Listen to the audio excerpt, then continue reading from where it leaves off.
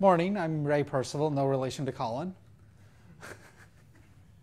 um, I build, just a little bit of background, I do data center networking, um, several very large data centers, heavily virtualized environment. Um, and so networking in virtualized environments and with virtualized gear is kind of a big interest of mine because it's important and it's something that we're all going to be doing more of.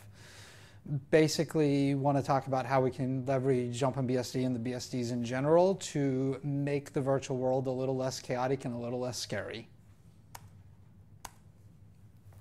So as y'all probably know, the BSDs and TCP/IP go way back. The first TCP/IP implementations came out of Berkeley, and pretty much all modern TCP/IP stacks go back to a BSD.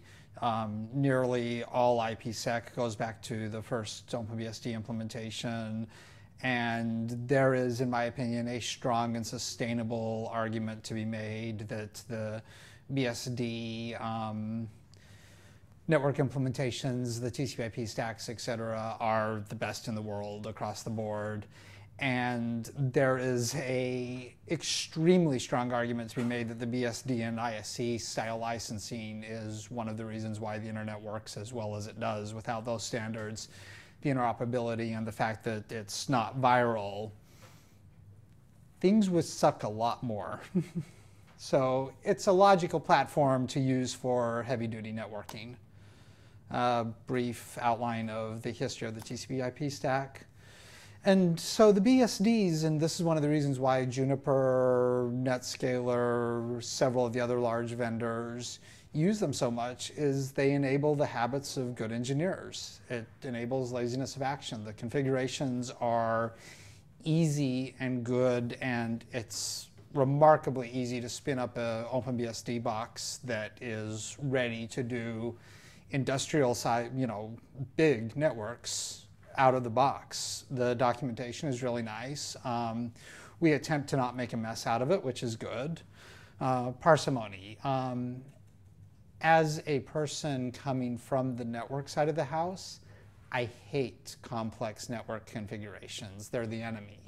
And the OpenBSD network configurations are incredibly parsimonious and easy. So powerful tools for networking and troubleshooting and general computing. I mean, we have VLANs built in that are incredibly easy trunking incredibly easy. Um, things like RelayD, where you can turn up a load balancer that competes with any of the major vendors out of the box. Um, everything's integrated is another thing that I like because it's all in base. RelayD, VLANs, everything you need to network is in base. It's integrated, you get the stability, you get the logical defaults um, things work well. Responsive developers, standards compliant. So especially on a VM, you can spin up an OpenBSD install with basically all the networking bits that you need in something like 10 minutes. Um, zero touch provisioning is awesome, especially in the data center um, everything in based and the, and the ability to do customized rollouts with the host specific sets and site specific scripts across to the data center. That's incredibly important. And it's really cool when you start building large scale virtualized um, environments. Because if you want to spin up your load balancer and you're spinning this up as a virtual load balancer for 100 customers across you know 10 machines having that level of automation is absolutely critical and integration makes complex things really easy to set up um, one of the examples that i use and it's a rather trivial example but it's cool is the dhcpd integration and the pf integration means you can spin up and prototype a machine to enforce um, MAC addresses in minutes. Um, NSH is a really cool tool. Um, actually, Peter put it in ports after I whined at him a lot about it. Um, one of the things it brings is the ability to give your overnight guys these very simple configurations that they can drop on and to make your configuration very network-like. It feels, if you come from the Cisco, Juniper, Arista, whatever side of the house, it feels very intuitive. It feels very natural because the configurations are in a logical way that you're used to. So specifically about virtualization. We, OpenBSD plays nice with essentially all the hypervisors and the ones that they, it doesn't yet, it's being worked on. Um, VXLAN is VXLAN is fascinating, and VXLAN is what's going to take up a large part of the talk. But so OpenBSD had the first implementation of VXLAN, and it is in many ways by far the best. And it's basically a tool to build overlay networks. So an underlay network is the physical network as it's laid out switches, firewalls, layer one, layer two, getting packets from here to there. And it's pretty complex and ran by, well, people like myself. What an overlay network allows you to do is virtualize all of that away. You virtualize all of that away. You can chop down, you can get rid of all the layer two complexity. Well, you can't get rid of the complexity, but you can hide it. You can hide it from yourself. So where I might give you a VM over here and you have a VM over here, two different hypervisors, two different layer two networks, everything routed in between here, all that complexity that you don't want to deal with. Use VXLAN to essentially build a tunnel that encapsulates the packets from here, takes it over here, and treats it to your endpoints, it looks like it's one great big happy VLAN or subnet. And that allows things like to do CARP between hypervisors. Um, backups are particularly nice with this because a lot of backup tools assume that you're going to be on the same VLAN. And so it simplifies a lot of that it can allow you to get past a lot of the limitations that might be put on you by a infrastructure as a service or for purposes of this talk cloud um, provider um, by being able to build tunnels between different environments different subnets it doesn't matter if you get spun up on this host or if you get spun up on a data center 100 miles away from your other data center as long as you have connectivity. I mean, if you can get ping through, you can virtualize all of that away. It's really exciting stuff. Um, and it allows a lot of automation. Um, RelayD. RelayD is a pretty amazing tool, and I'm not saying that just because the man is here. Um,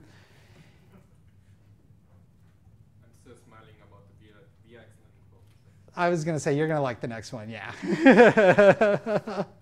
um, so RelayD is a load balancer on par with any of the big names at this point. Netscaler F5 RelayD can do essentially everything they can do, and it runs on a nice base OpenBSD box, which is really nice. CARP, of course, we all know CARP. CARP is extremely useful for redundancy. PF is kind of the gold standard um, VLANs. I have my VLAN sample code, and I mean, so it's dead easy. Bridging is nice. One of the things I really like about networking with OpenBSD is the rapid prototyping, and specifically in a virtual environment. The ability to do a proof of concept in an hour or an afternoon for something really complex is incredibly nice. And with some of the tools that we have, it doesn't really matter where you're doing it because you can make it work. Um, so yeah, the ability to do rapid prototyping. More than once I've done things that would have cost tens of thousands of dollars from a vendor or taken a very, very long time in an afternoon with tools essentially in base. So the other kind of communication. Um, here's kind of the thing is between network people and systems people, there's a bit of a gap. But if we communicate with code or configuration snippets, it reduces a lot of miscommunication. And that's one of the things that I like about specifically using OpenBSD for, for communication is I take, for example, the VLAN configuration from an OpenBSD box. I hand that to somebody who's been doing VLANs their whole life on Cisco. They can see what I did there with pretty much no, pretty much instantly they can see what I did there. And that's really powerful because you improve the amount of, because you reduce miscommunication. And I mean, if you're looking at the configuration, you know what is. So that's really pretty powerful. And it's a dramatic difference from some other operating systems. Um, VRF Lite and VRF, and I don't actually have an example. Um, so VRF Lite is in OpenBSD base, integrated with PF, integrated with all the routing daemons. It's there. You spin up a box on base. You have all the tools you need. Um, and again, the other thing I like about it is the configuration. If you do what you need to do to do the configuration, and you'll see some examples later. I decided not to put in any examples since there's a whole talk on it in a, few, in a little bit if you do that configuration and you hand it again to your Cisco guy, your Juniper guy, the network guy who's never touched a BSD box, she'll know instantly what you did there because it goes through a logical, it uses a lot of the similar syntax. It was obviously written and designed by people who have to work with it for a living, which again, I really like. Three basic commands to set it up and works like you'd expect it to if you've used any other implementation. So if you've set it up on Cisco, if you've set it up on um, Juniper, any place else, it essentially, I mean, if you've done VRFs on Juniper, Cisco, whatever, it works like it was. And again, I started reading how to do it on Linux, got tired, needed a nap. So, I mean, that's literally all it takes to create a VLAN on OpenBSD. Configure your switch right, plug it in on the other end, you're good to go. And that is, to a networker, that's an incredibly intuitive configuration. Walk through it, spin up your interface, create your VLAN, assign your VLAN to the interface, give it the IP. Done.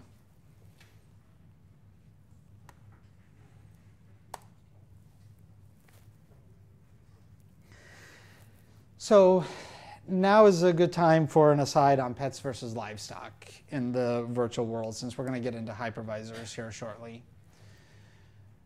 So it's the idea of are you ready for infrastructure as a service or for cloud or to virtualize? And if your servers are pets, you probably aren't. If they're named and you mourn when they go down and that's a problem, you probably don't, you probably have a problem. On the other hand, livestock, if your app is written or whatever you're doing is written in such a way that you can take them down, bring them up, you know, run Chaos Monkey, have everything go up, down, backwards with them, then you're ready. And the thing that the networking side can bring here is the ability to move things around. So, for example, if you decide you want to go from AWS to some other provider that has cheap, in fact, there are literally, I was just telling about spot, the spot markets in cloud computing. People will sell you capacity on whatever provider you want, and you just move your stuff around, and that's pretty powerful. Um, there's some quality issues there, of course, but so. On the other hand, everything isn't exactly rosy.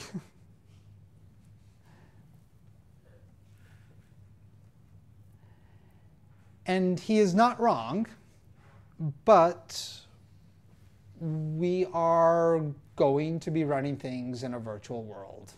As the other talks here make clear, and as makes clear, I mean, we can't keep the whole thing, we physically can't keep the whole thing lumbering along on all physical machines at this point. So we have to virtualize.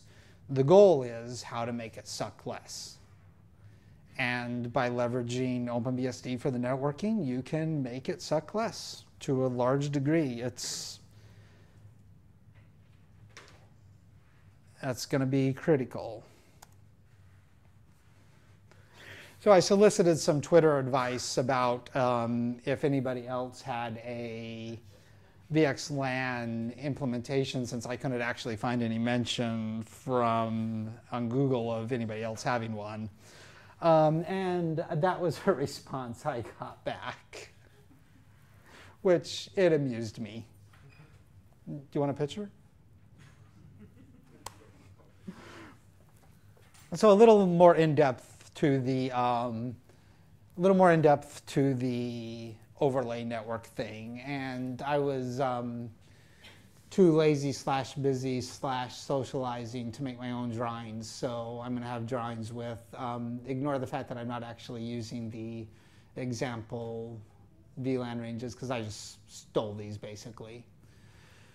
So the upper drawing shows what's called your underlay network. So you have your server, a VM in this case, connected with your vSwitch to your gateway, which again is just another VM there, and that can go over any network. Now this shows it, you know, going over the same subnet. Then your gateway has a connection out to the internet. We'll ignore for the moment all the stuff in between of it and the internet. Over to your client, which is on a completely different subnet doing a lot of stuff over that setup gets to be difficult. For example, if you wanted to do database replication, that's a hard problem with just access to the underlay network. You're also at the whim of a lot of stuff there that you don't want to deal with. Um, and in particular, if you were running in a highly managed virtualized environment with that first setup, you would have to talk to somebody like me quite a bit to make changes to that.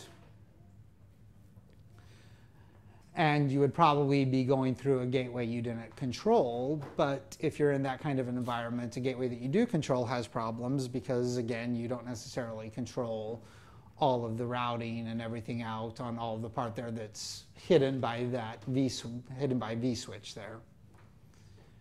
So the bottom drawing shows a very basic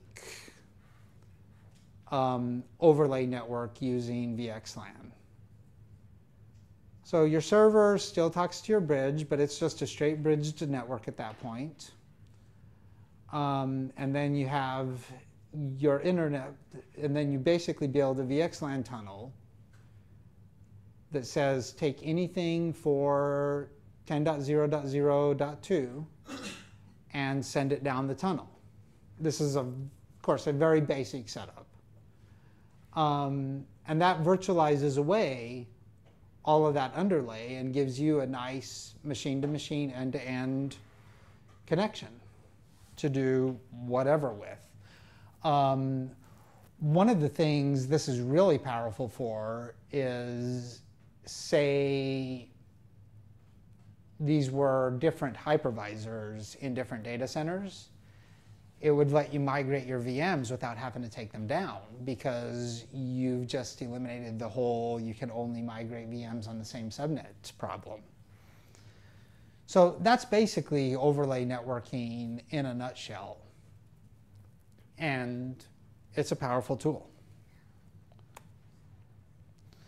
So like I was saying, migrating between hypervisors. So if you're going, say, from VMware to bhyve or Xen to bhyve or bhyve to Xen or wherever to wherever, it simplifies that greatly because to the machine, everything looks like it's on the same subnet um, mixed hypervisor environments. So Xen and VMware, if you have to go between subnets, don't really play nice together.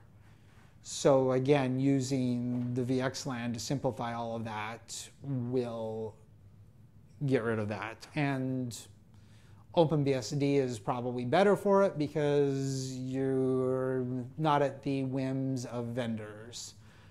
Um, and migrate VMs between different VLANs and subnets is important. Um, another one, for example, is if you have a VM in a vendor environment and you don't trust the vendor provided VPN or you don't want to pay whatever outrageous price they're charging you for a VM route or for a VPN, sorry, or you don't want to pay, pay whatever outrageous price they're charging you for a VPN connection, you simply you go back, you spin up a gateway on the subnet there with your server, pay just for whatever the, you get the regular internet connection out, which normally you couldn't do a VPN over because there's a whole bunch of stuff in there. They don't let you into the real IP address. Getting them to set up inbound connections is a pain for whatever reason. Set that up, set up the um, other client at your office that you want to have the VPN connection to, set up a VXLAN tunnel, which requires you to ask to open one port essentially and boom, you bypass, you have your VPN under your control. You've greatly simplified things, and you don't have to necessarily pay for your vendor for whatever they're charging you for the VPN. Um, it can also, if you have, as is popular, a lot of people these days will set up multiple environments because it'll spin up, I mean, in an infrastructure as a service, it'll spin up your environment wherever it spins it up. You can set it up, and suddenly you don't care because you can relatively easily make all of your stuff play nice with each other. Um, downsides of VXLAN. There's no security whatsoever. This is not a VPN by itself. It's essentially a tunnel over which you can build a VPN, but it's not a VPN by itself. It has no security to it it does depend on the underlying physical network and routing. So it can be used, it can't, it can be used to compensate for bad network designs, but it probably shouldn't. Um, but you can use it once you have a solid underlay network, you can then use it to do really interesting things that would otherwise cost a lot of money. Um, one of the things you can do with it that's really important is if you get on a hypervisor and you have a given hypervisor that is running really hot, if you have VXLAN, it makes it really easy to quickly do a migration to another hypervisor. It also makes it easier to spread out your machines. So if you need to spread out machines across, say, 20 hypervisors across two data centers, all you have to do is talk them into a data center to data center connection. And if your machines all need to appear to be on the same subnet, you can do that. I'm obviously quite excited about this. um, so things, yes? Another exciting thing about VXLAN is also that it works with point to multipoint. With the, you can, it's not just a tunnel, right? You can connect multiple sites and they find each other. Yes. Like virtual Ethernet with multicast? Yes, yes. Are you using that or is it? Uh... I'm not using it yet. No, I, I know it exists, but I'm not using it. I, mostly because I haven't found a way to use it yet or a chance to use it. It's very easy because it's tied into the bridge. So we didn't add an extra code layer. you configure VX on this bridge and it just works. And it just works. It treats it.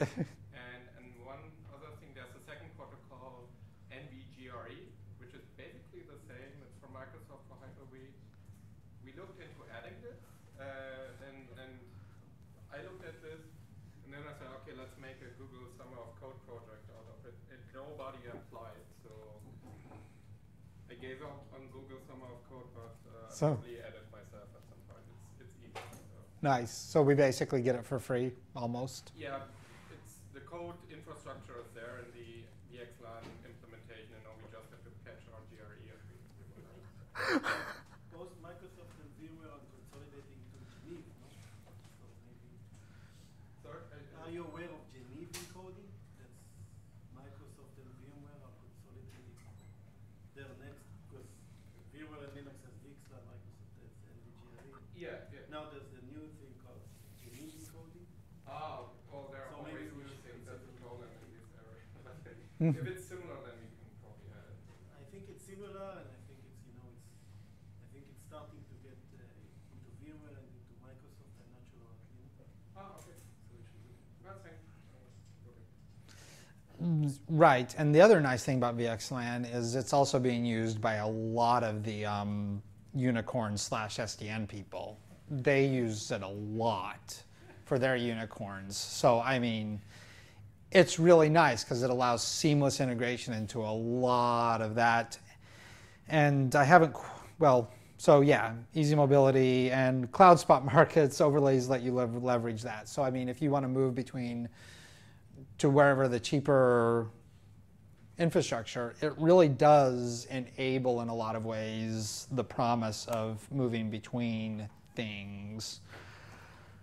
Um, Relay D, free functional secure load balancing with some really cool tools and really easy to set up. I think I set up the implementation I have running for demo purposes. I started spinning up the um, VMs for it when we ordered dinner last night, and by the time we were eating, I had it mostly working. um, the mostly parts because I have a crappy hypervisor on the laptop. Um, it's another story.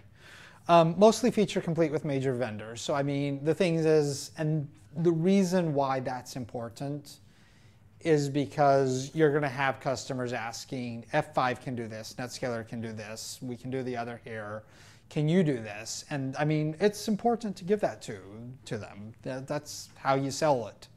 So I mean, and again, also from a networking point of view, if you know F5, if you know Netscaler, if you know how to load balance, you know how to use Relay D. Because it keeps the concepts, it keeps a config language that is really understandable. I mean, it's a little bit different, but it's really understandable. Actually, it's really understandable. And again, virtual LBs are portable, fast, easy to deploy. You know, I have them spun up really quick and manage and monitor with your existing tools. So if you're running BSD servers, specifically OpenBSD servers, but anything, and you're using Salt to manage those, you can now use Salt to manage all your stuff, Salt, Ansible, whatever.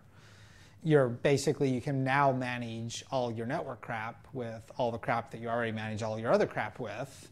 And so all the crap you already have and know and love, or don't hate, or hate less, or whatever. um, the other upside to that is again, it's standards compliant.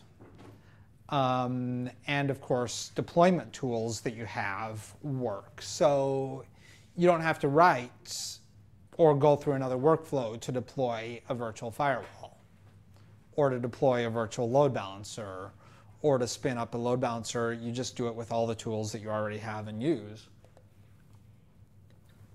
As long as OpenBSD is a possible guest on your systems, it just works because it's all in base, which is sweet. PF, it's the gold standard. Um, really don't need to say a lot else about it. Um, R domains, sweet, sweet VRF Lite. Without VRF Lite, multi-tenancy is impossible. Without multi-tenancy, the modern data center is essentially impossible. Um, I'm not going to go deep into R domains because Peter will be going much more in depth on them, but they're basically they are critical to multi-tenancy.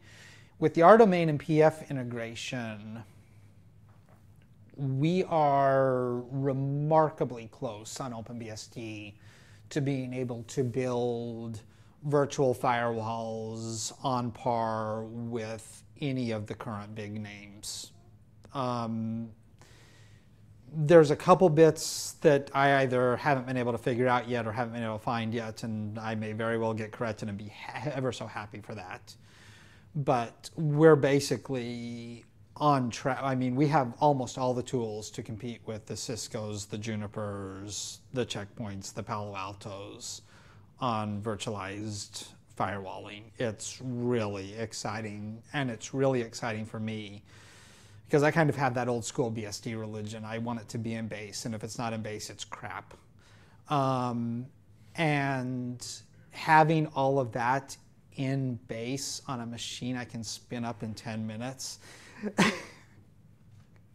that's fun. And of course, we can run multiple VMs for isolation in the meantime. So since they're so light and we can spin up, you know, 10 VMs, run the firewalling through that, call it a day. Um, rdomains on our back end, um, potential for our, well, rdomains and relayd, you get probably enough separation and honestly more separation than most of your major vendors provide today.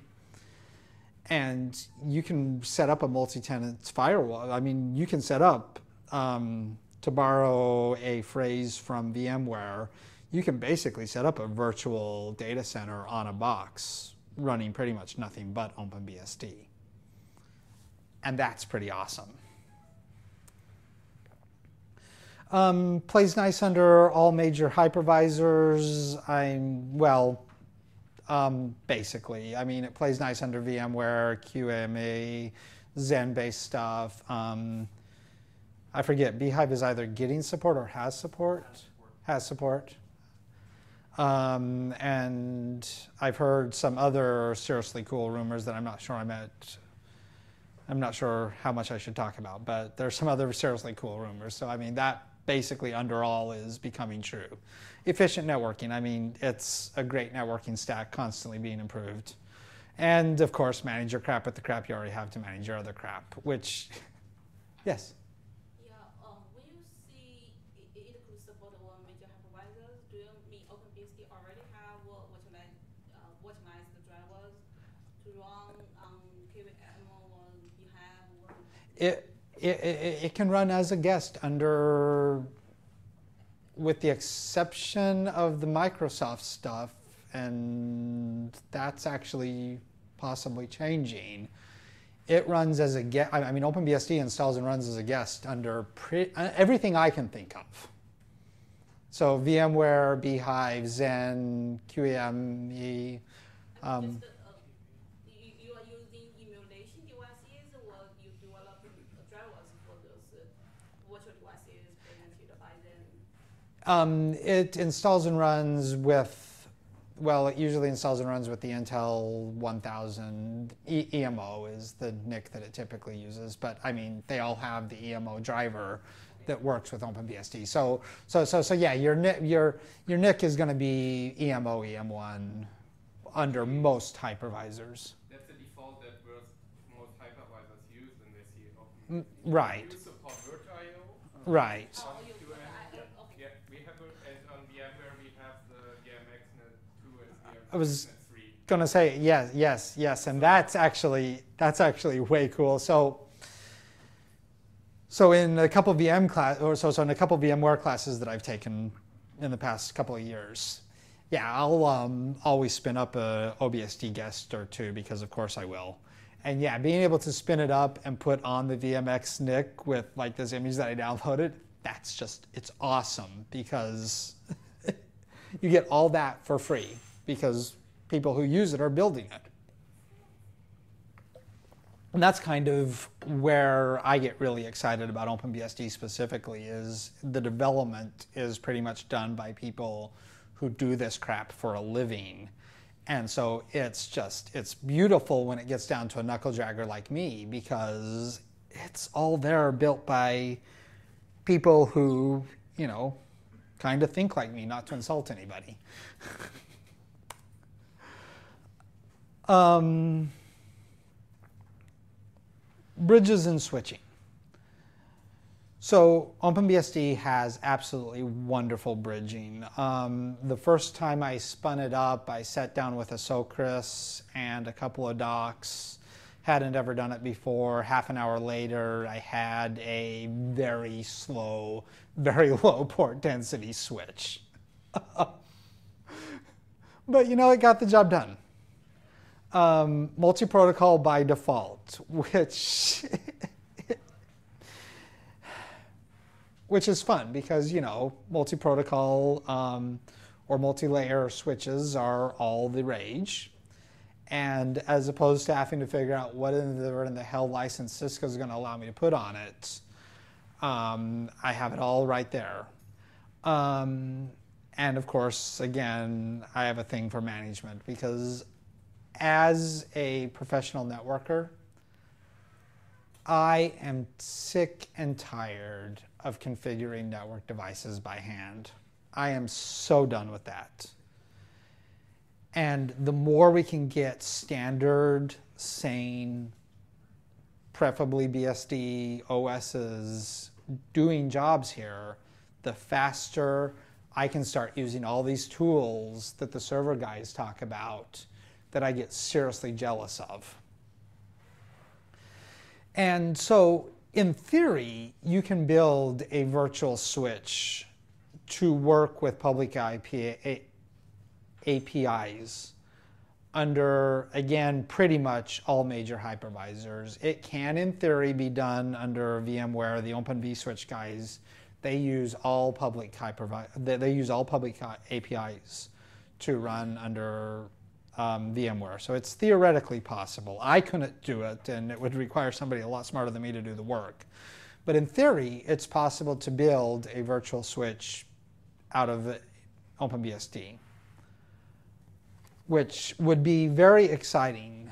Um, because again, you would have all those management tools and you wouldn't have to go through, go worship at the altar of the Cisco pricing structure. And a slight aside into white box switching or bare metal switching. Um, so in the networking world, merchant silicon is becoming very popular. This whole idea that a Cisco is going to design an ASIC from the ground up, integrate the software into it, build releases that are specific to that ASIC, and release these switches on very slow release cycles and have these very slow vendor driven upgrade cycles is becoming really unpopular people are really quite done with that. Um, Arista has kind of completely proven that you can take one of the off the shelf, mostly Broadcom ASICs, plug it into a machine, spin up a stock OS, write some drivers, dump it on there, and have incredibly high performance switches that people get just really excited about. And from the system side, it seems kind of obvious. You know, you the system side has been managing things with things like salt, APIs, configuration, all of that for a long time. While networkers are still managing huge bits of infrastructure by SSHing to a machine, writing a config, SSHing to another machine, writing a config, telnetting to that damn switch that you hate, writing another machine, writing another config. And as a group, getting tired of it, and I'm just done. So being able to build this off of it and get the drivers, mostly commodity hardware. Again, the ASICs are, you know, kind of the elephant in the room. Um, the issue, of course, is convincing Broadcom to give up the documentation to allow us to write the drivers. Of course, as the OpenBSD community is well known for, and FreeBSD and basically everybody is, you know, we don't want drivers from you. Give us the documentation, give us the info we need to write the drivers. We have the people to write the drivers, and we have the people to write better drivers. The key, of course, is talking those vendors out of that documentation, and that's a huge project. But it's a potentially really exciting one. So Arista, of course, runs on pretty much a stock Red Hat. Well, CentOS, actually. Networkers get incredibly excited about this because you show them dropping into the shell there and all the things you can do on a switch with configuration, getting information off of it, testing, if you have access to the shell, yeah, well, I want that on BSD. I can't do it, but I want that on BSD, and I think it would be a huge win because we'd be able to create some really cool tools. So that's an aside on that. So concerns about virtualization in all its forms. Quality is a concern. When we get into a world where we're spinning up machines and when they have problems, we're killing them and we're spinning them up again, and we risk stop trouble stopping actual troubleshooting. You know, destroy the machine and rebuild it is the new reboot and quality becomes a concern with that. And it's something I think that we need to be concerned as a community about how to get that balance between moving fast and maintaining the kind of quality that we're all used to. On the other hand, we have really powerful tools. And we have tools that can be leveraged in really interesting ways once they start to capture the imagination and to increase our flexibility a lot. Um, then we get into the area of complex yet fragile systems.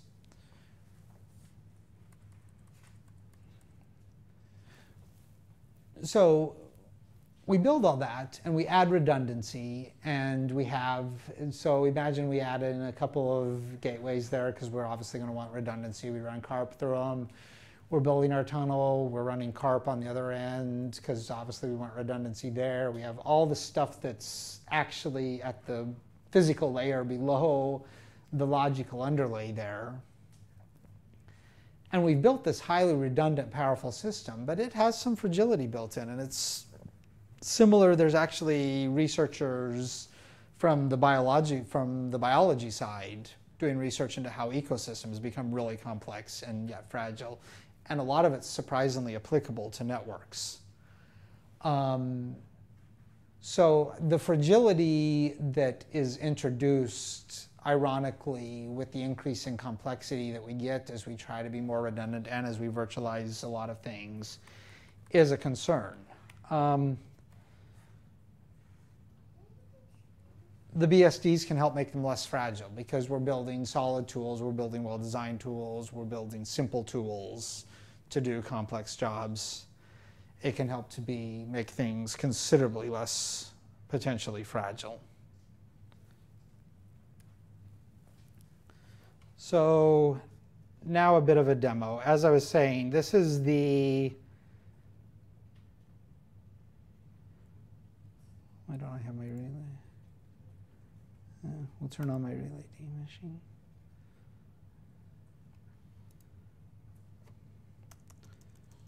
So this is running under Parallels, and it has some kind of problem with the EM client, but it's a crappy desktop. But this is the setup that I spun up last night over dinner.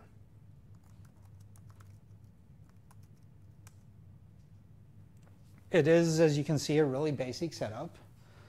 Um, so we define our external address, aka our, what's going to eventually be our virtual IP. We define our pool, a couple of web servers sitting behind it. Put them actually into the pool. Again, really intuitive syntax. Uh, set up the interval. So the interval is how often it pool, it, is how often it probes each server to make sure it's up. Um, set up, define what we want HTTP to look like for purposes of this, for the protocol. And then we actually bind it all together with our relay HTTP proxy. We're listening on the external address on 80, listening for 80, forwarding to our web hosts on port load balance, and we have it checking that it gets back at 200 to mark our servers up. Because if the server, you know, stops returning 200, we want it to be removed from the pool. We do relay show hosts. It shows us how often our, it shows us what our servers have been up. It shows us how many checks we have. You show that to a networker who has spent their whole life working with F5 and NetScaler. They're going to be able to read that instantly, know what's what they're looking at. It's really intuitive.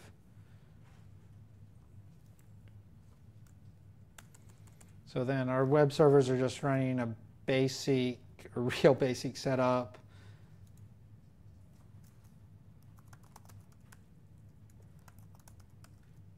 So the client using 203.0.13.2.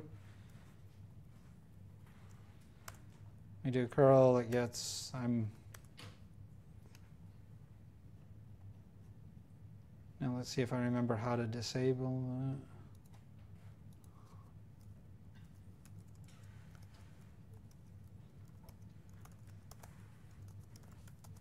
relayctl. Huh? Not relayd, relay CTL. Re- Thank you. The funny thing is, I have that in my other example. Disable host.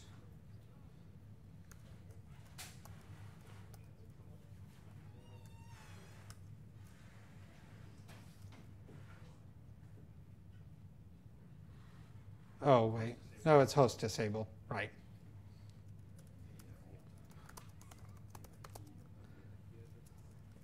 And it helps if I know how to type, which is not, again, the fault of the operating system.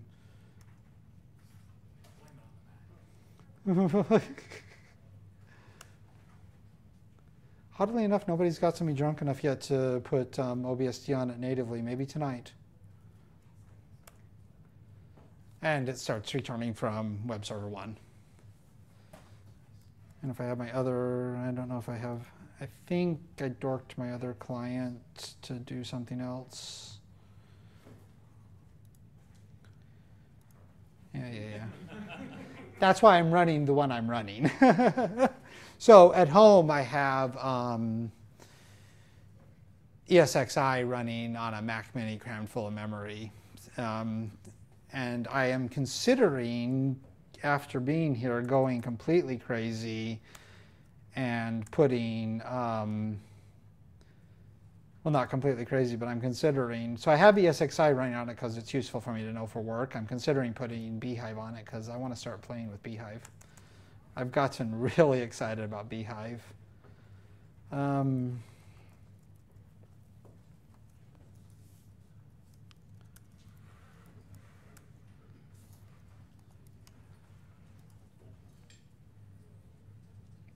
and I wasn't able to get my um, so I wasn't able to get my VXLAN demo working because so there we can see one going to one the other going to other. I don't quite have the load balancing set up so that it'll do the whole cycle through the thing. So Parallels doesn't have a proper virtual switch, so I wasn't able to get my VXLAN stuff actually working. But I mean, to demonstrate how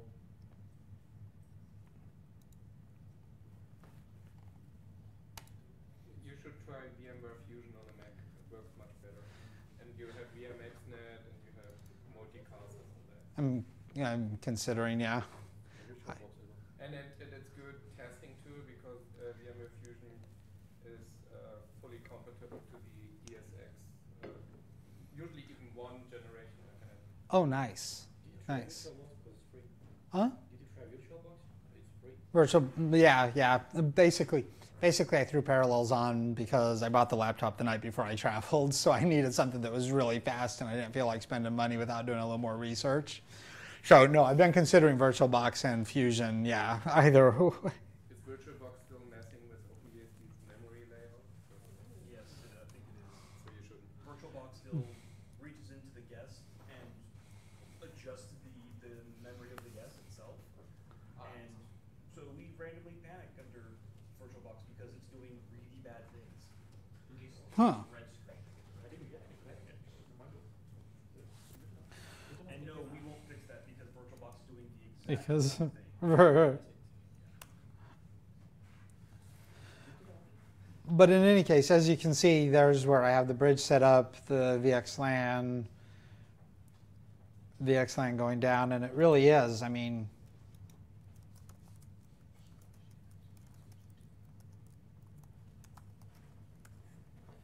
I mean that's the configuration. This is an, a really basic setup, but I mean that's the con- that's all there is to it, and that's as a networker, that is incredibly exciting to me. And you hand that to say you have somebody setting up a VXLAN, ter- say you're terminating this tunnel instead of on another OpenBSD box on a Juniper. How are you gonna add, for example, IPsec or VPN layer? Well, so so the VXLAN tunnel provides the tunnel or the road. And extending that analogy a little is, yeah, then you run your IPsec stuff over it. Those are the cars running over the road. So whatever your peer is on the other end, that's what you build the tunnel to, to add security to it. So, so, so, so you're basically you're building the road with the VXLAN tunnel, and then your IPsec stuff you're running as the cars over that road. So in this case, I have it set up. We're coming from 198, 51, 101, going to 102. So if I wanted to then, yes. I'm wondering, like, I, I work in networking, I love OpenBSD, but one thing I haven't really heard you address, and, and I apologize if you did, I didn't, I the start of your talk. How do I deploy production something with a six-month support cycle? Oh, I love the six month support cycle. Oh no, once you learn to, To what? it's death to me, that's why I've stopped using OpenBSD. Well, It's 12 months. We support well. I, I was going to say actually, actually, OpenBSD has actually Juniper probably stole it since OpenBSD probably had it first. But OpenBSD actually has the same sort of release cycle that Juniper does. I mean, if you have to sell that to say management, it's exactly the release cycle that um, Juniper does. They, they, they, they do a new release every six months, and it's officially supported for a year. But with Juniper, if I'm on support, even if I'm running, like, I can be running Junos 10, if I find a bug in it, Juniper will patch that bug in a special build of Junos 10 to fix my problem. assuming you have backed the big truck of, and I work for somebody who has backed that big truck of money up to them. But I mean, assuming you pack you, you backed a big truck of money up to them, sure. Um, assuming you don't have the big truck of money, That's not my definition of production. that's No, but if you do have that chunk of money, I'm pretty sure the OpenBSD developers would be happy to take some of it. I was going to say there, there, there, there are people. I'm, I'm, I'm sure you could talk to um, either of these gentlemen, and I'm sure, I'm sure there's Can I make a sales pitch? Absolutely, sir, absolutely. For a living, I run a company that offers, uh, let's say, commercially supported OpenBSD. So just talk to me if you need it. We can give you 10 years, but we go, we're going to charge 10 years. And you, and, and you know who he is, right? Just wanted to make sure. I hadn't met him before, so I wouldn't have recognized him before now. Um, so, I mean, it is. And now, joking aside, it is a concern. And the last place I really ran it a lot in production was where I had enough trust from my boss that he would let me spin up things and he would let me do it. And you really do. I mean, that gets into the whole how do you deploy any of this in production where it's not already.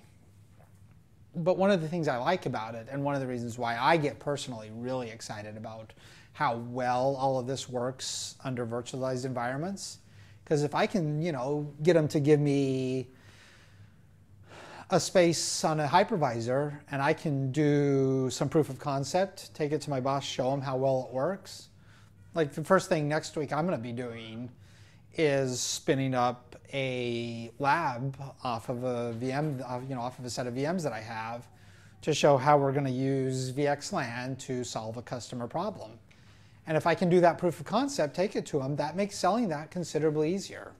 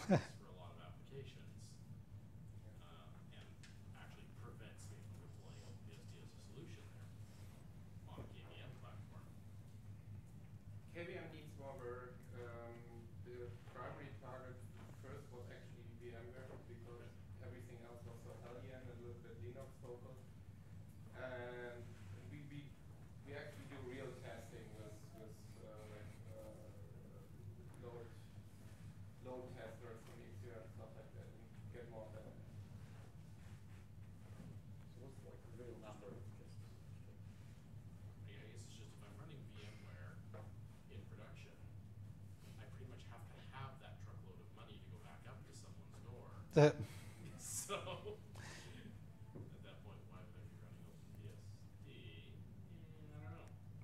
I get excited about it. I get excited about it because I like running something that I have that level of control over where I can. And that makes me happy. And it's under rapid development. And, you know, I will be the first to tell you some of this is, you know, stuff that's going to be cool as it continues working on, and stuff that's cool, and stuff that I think is cool to start thinking about now because we're getting there and we're building it out. And I particularly am getting really excited about bhyve. So I also think it's cool because a lot of the systems guys, I mean, I would love to see more people doing networking. So that's just me. Any more questions? Cool. Well, thank you. Oh, yeah. Do you have any like real life examples, little bit like more to share about the real production networking running out of this of this setup? Just you know, bit kind of numbers, like average or estimated kind of this, not not the actual maybe numbers, but to get the what's the limitation on the pass through that was mentioned and some other like uh, critical for production measurements. So uh, the, is it possible to Um, probably. I don't have anything off the top of my head right now, but it's possible. Now, I mean, where I've ran it, so, and actually, Peter, do you have any numbers from your setup that you can share?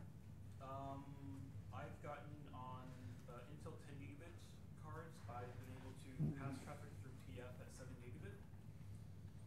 Um, uh, over 700,000 packets per second.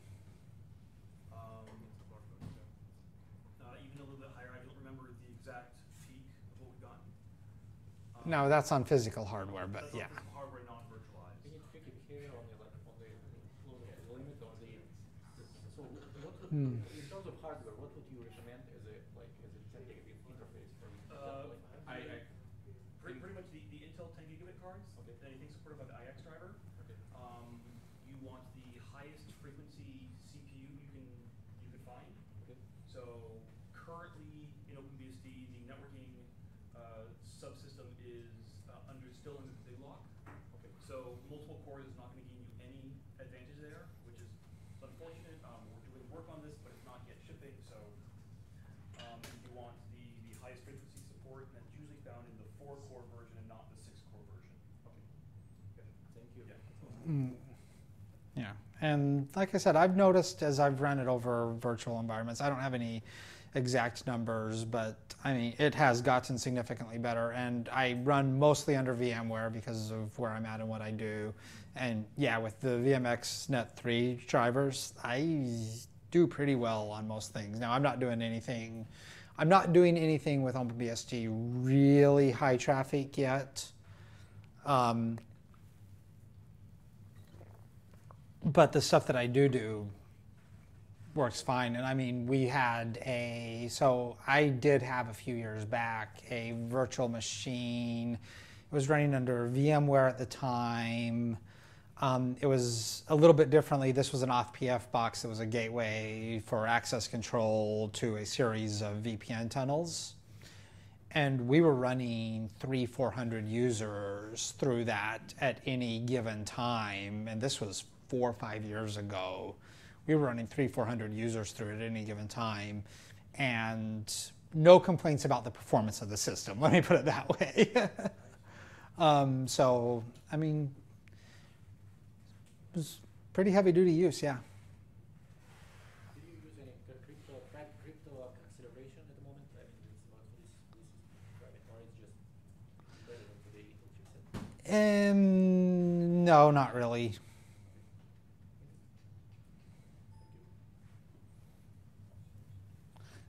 Hypervisor.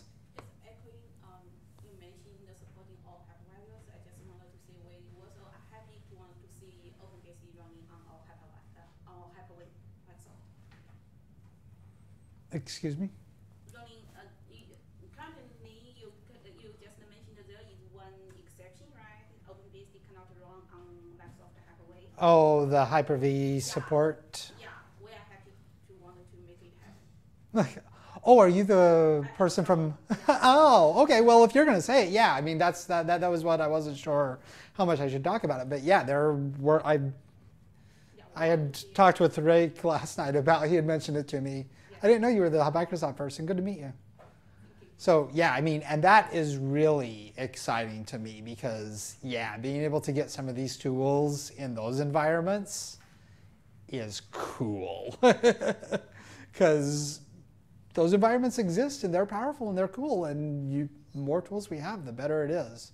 Yeah. i'm all about one big happy family just improving the state of engineering across the board. So yes Just for the record, OpenBSD used to work in Microsoft virtualization environments. It broke somewhere around uh, Hyper-V 2008 R2 on the Microsoft side, and it broke somewhere around OpenBSD 5.0 on the OpenBSD side.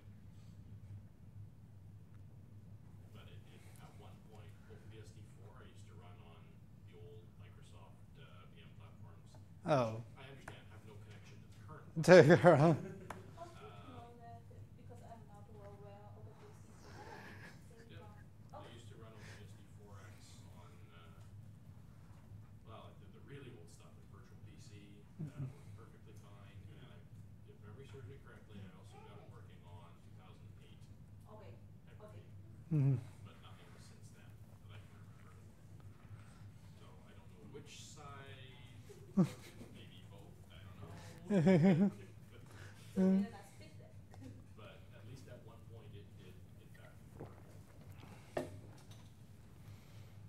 cool. So thank you all very much. I hope it was entertaining